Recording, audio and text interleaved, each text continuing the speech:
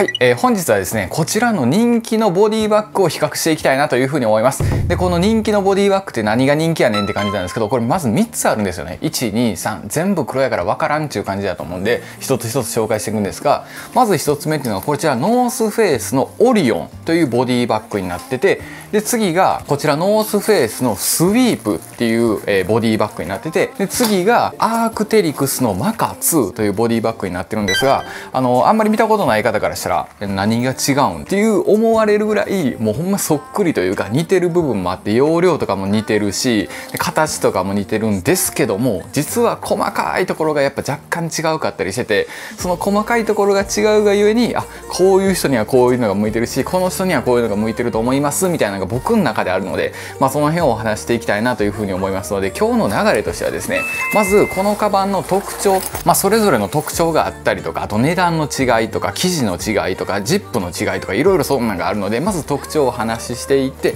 次に僕ちょっと気になる点が2つあるのでその気になる点をお話ししてその次におすすめの人このカバンはこういう人がおすすめですよこのカバンこういう人おすすめですよこのカバンこういうのおすすめですよって、まあ、パッと見は一緒だと思うんですけどよくよく知っていくと確かに細分化されてたりするのでその辺のお話をして最後おしまいという流れにしたいなというふうに思うんですが今日はちょっといつもと違う画角でお送りしていきたいなと思うのでもっとよりこのカバンが見見えやすい角度で、えーお送りしたいなと思いますので、えっと、中継の拓道さんお願いします。はいそれではこちら中継の拓道です。こちらお送りしていきます。まず左から順番にスイープ、えー、オリオンマカ2という順番であるので、えー、それぞれ比較していきたいなと思います。まず値段がですねこちらのスイープから4860円。これが一番安いですね。で次にオリオンが5940円。これが一番高い。次にマカ2が5500円。でさらに次容量を見ていきたいんですけど実はこれ容量ってほぼ一緒に見えるんですけどこのアークテリククスとオリオンに関しては3リットルになっててこっちのスイープだけ4リットルにはなってるんですけどもほぼほぼ中身の大きさっていうのはあまり変わらないようになってるのでこれ4リットルっていうのはおそらくここの大きさももちろんそうはそうなんですけど、まあ、さらにこういう細かいところこっちとかも収納できたりするので、まあ、こういうところとかも加味すると確かに容量は少し大きいかなと思うんですけど、まあ、本当に気持ち程度大きいっていう感じなんで、まあ、ほぼほぼ大きさは変わらないと思っていただいても大丈夫かなというふうに思います。で次がですね実際かける時のこちらのストラップの紐の太さになってくるんですけどそれがどれぐらい違うのかっていうことなんですがまずスイープが一番太くて次にオリオンが中ぐらいそしてマカ2が一番細いっていうような感じになってるのでもうちょっと少し近くで見ますね。こんな感じになってるのでスイープの方がちょっとまあ太ければ太い分やっぱカジュアル感が出ると思いますし逆に細ければ細いほどまあ流行りのサコッシュとかもちょっと細いと思うんですけどそんな感じマカ2はちょっと細めになってるのでスタイリッシュな印象かなというふうに思います。そしてバックルの位置がですね結構特殊なんですけどこのスイープが一番真ん中なんで取り扱いが楽なんですよね。こうやってパチンって外してあげてパチンってつけれるので全然楽なんですけど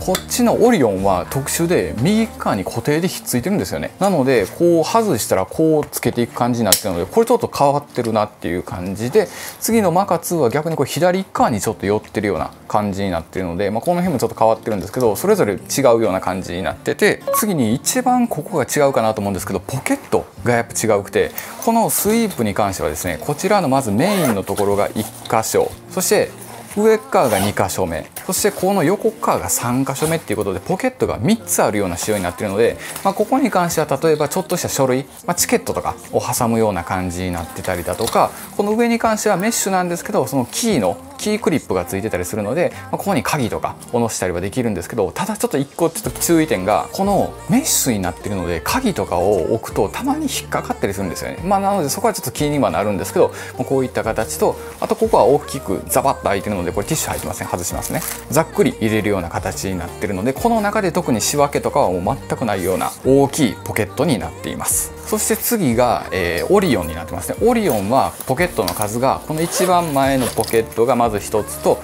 後ろのポケットが1つの計2つになってるのでこの前のポケットの中に実は小分けというかちょっとした小分けができるようになっててこうガバッと開いてあげたらこのメインの収納もそうなんですけど、まあ、さらにこのもう1個こっちにはあのパスポートであったり例えば財布であったりこういった例えばティッシュもそうですよね。こうピュッて入れれるような仕様になっててでちょっとした AirPods とかの小物なんかはこういったジップ付きのポケットもあったりするのでこれはメッシュになってるんですけどこういったところにポッて入れたりもできるというような仕様になっております。でこの後ろ側にキークリップがついていてここのポケットに関してはもう完全に前のポケットと分離してる状態なんでメッシュとかじゃなくても完全に仕切られてるような状態になってるのでもう全く別のポケットというような感じになってて例えば鍵を入れたりとかしてもしっかりクッションがついてるので前のところにこう当たったりとかして傷がつくような心配はないんじゃないかなというふうに思います。そして次マカ2がですねポケットの数が一番前が1箇所そして真ん中が2箇所そして一番後ろのスマホを入れるとこがあるということで計3箇所あるのでポケットの数だけで言うとスイープが3箇所でオリオンが2箇所そして、え、マカ2が3箇所ということにはなってるんですけどもマカ2に関してはさらにこの中央のポケットには仕切りが1箇所そしてこう2箇所そしてジップ付きの3箇所目があったりとかしてより細分化できて細かく入れれるような仕様になってるのでこう几帳面な方とかもそうですし小物が多い方なんかはこういう仕分けがあるのが多分ありがたいとは思うんですけど大きいポケット3つにプラスメインポケットから小分けもできるような仕様となっております。そして次生地がですねこれ面白いんですけど全部420デニールなんですよね。420デニールで全部作られてて唯一このスイープだけこの底の部分っていうのが若干生地感が違うんですけどここだけが1680デニールという4倍ぐらいの生地感を作ってるのでちょっとこう擦れたりとか地面にこうパッて置いたりとかしても頑丈な仕様となっております。そして次重さなんですけど重さも、えー、こっちが 200g200g170 なんでまあほぼほぼ同じですよね。多分 30g の違いは感じないと思うので、まあ、ほぼほぼ同じような重さになっててあとキークリップもそれぞれあるのでスイープやったら上側にキークリップがあるしオリオンの方やったら後ろにこの赤のキークリップがあるしでマカ2に関しては一番前にこういったキークリップがあるしっていうことで全てに対してキークリップがあるというような感じになってるので似てる点は結構似てたりとかしてて重さとか生地の分厚さとかは似てるんですけどやっぱりポケットの形状っていうのがかなり違うのでそれによっては細かく物を入れれたりとかあとはしっかりこう保護されてる場所があったりだとか、まあ、よりざっくり入れるような仕様になってたりとかっていうところがまあ違うようになってるのかなというふうに思いますので現場からは以上というふうになってますのでスタジオの拓造さんにお返ししたいなと思います。ではどうぞ。はいということで、えー、こちらスタジオの拓造の方に戻ってきました。まあどっちも拓造なんですけどもまあこちらスタジオの方になってるということでまあ今パッて見てもらったような感じであの実は最初一番最初動画見てもらった時はいや何が違うねんと思ったと思うんですけどまあ見てもらうとあ確かに細かいところ確かに確かに細かいところ違うなっていうふうには分かってもらったかなと思うんですが次は僕が気になる点というか2点あるのでそのお話をしていきたいんですけども、まあ、気になる点っていうのがどのカバンが一番気になるのかっていうとですねこちらのノースフェイスのスイープ。っていうカバンがちょっと気になる点が2つあるのでその辺のお話をしていきたいなと思うんですけどまず1つ目っていうのがジップなんですよね。でジップが何かっていうとこれ結構スイープ使われてる方はあるあるやと思うんですけどこのスイープのカバンってジップ使う時に引っかかるんですよ。ふって引っかかったりすることがたまにあったりとかしてまあ毎回じゃないんですけど。でこれは実は引っかかるように作られてるというか引っかかる要因が実際ちゃんとあって、まあ、何が違うんかっていうと例えばこういうアークテリクスとかあとノースフェイスのオリオンとかっていうカバンっていうのはジップがちゃんとむき出しになってるんですよね。なのでジップを開けようとしてもどこも引っかかるとこがなかったり閉めようとしてもどこも引っかかるとこがないんですけどこちらのスイープの方はフラップというか上にこうかぶさっててジップの上にかぶさってるのでどうしても勢い余ってガッて開けたりとかするとそこに引っかかったりとかしやすいような設計になってるっていうのが大きくスイープだけ違うところになってるのでこの辺はまジップってどうしても開け閉めってよくするじゃないですか。そしたらその時に引っかかってたら多分気になると思うので、まあ、その辺は、まあゆっくり開けたりゆっくり閉めたりしてれば全然問題ないと思うんですけどたまにやっぱ急いでたりとかしたらギュッて開けたりした時にグッて引っかかったりとかしたらちょっとストレスになったりとかするので、まあ、その辺はちょっと気になるかなというふうに思いますし僕も実際使ってて何回か引っかかったりはしてるのであれなんで引っかかんねやろなと思ってあこのフラップのせいかっていうのが分かったりしたんで、まあ、その辺は一つちょっと気になる点かなというふうに思います。で次に気になる点がですねこのスイープだけこのジップが前に対して向いてるんですよね。で他のマカ2とかオリオンとかっていうのは上に対してジップが向いてるのでこう荷物が落ちにくいようなっていうか上から取るような設計になってるんですけどこっちのスイープの方に関してはこうガバって開けたりしたら前から取るような感じになってるのでその辺がちょっと作りがもともと違うっていうのもそうなんですけどそれ以上に実際僕のあったことはこれってあのスマホとか入れるとこないじゃないですかスイープに関しては。そしたらこのメインのとこにスマホをこうやって多分例えば入れますよね。そしたら普通に閉めてでヒューってこう例えば散歩とかしててあコンビニでちょっとあのスマホで決済しようと思ってパーって開けた時とかににちょっとでも前向いてたりしたらこのままスポーンと落ちたりするんですよね。で実際これ僕携帯落としてたりするので、まあ、これはちょっと気になるところかなというふうに思っててまあそれは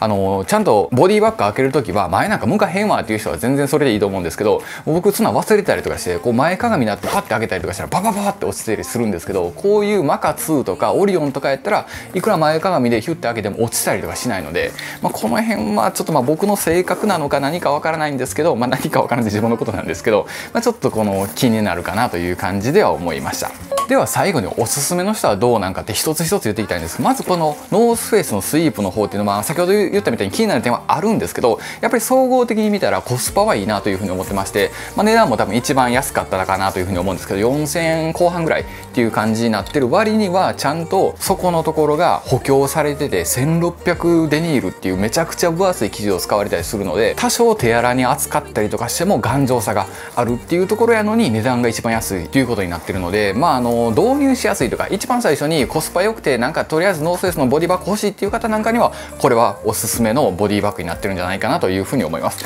で対して次はですねオリオンの方になるんですけどオリオンの方は先ほど見てもらったみたいにこの後ろのジップっていうのが結構特徴的になってると思うので後ろのジップが広い。そしてなおかつクッションもしっかり入ってるっていうことで、まあ、より何て言うんですかねこう例えばスマホだけじゃなくてスマホの大きいスマホもそうやし例えば、え、ちょっとしたこうゲームとかもそうやと思うんですけど要は液晶の大きいやつとかこう必ず守らなあかんもんを入れる時とかっていうのはこういうオリオンが結構活躍しやすい場面やと思うので具体的にはスイッチとかもそうですよね。でそれ以外にあったゲームボーイとかもそうですよね。であとゲームボーイアドバンスなんかもそうやと思うんですけど、まあ、そういう液晶を守らなあかん時とかでしっかりクッションが入ってる方がいいっていう方なんかにはこのオリオンがおすすめになってくるんじゃないかなというふうには思います。で最後はですねこちらの、えーと、アークテリクスのマカ2になんですけどこのマカ2に関してはですねもうこの3つの中で一番万能なんですよね。もうとにかくあのそういうこだわった用途っていうかあの特殊な使い方せえへんっていう普通にスマホ入れたりあと財布入れたりとかあと小物リップ入れたりエアポッツ入れたりとか。で今やったら例えばこういう除菌のやつとか入れたりとかするとかっていうもう普通の人が普通に使うのであればもうこれが一番おすすめっていうぐらい、まあ、スマホを入れるとこがあるしさらに